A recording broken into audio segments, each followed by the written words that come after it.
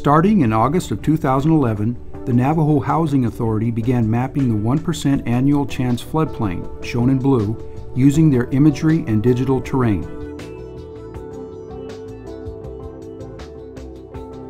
To date, they have mapped approximately 3,000 miles of floodplain.